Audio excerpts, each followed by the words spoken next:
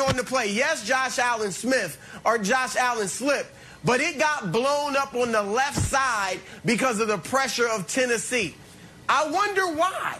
Could it be because ten, uh, Buffalo's Pro Bowl left tackle, Taylor Lewan, was injured?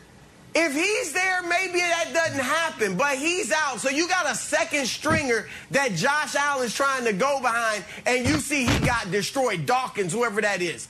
All right, so that's the problem. You're not good in the red zone overall.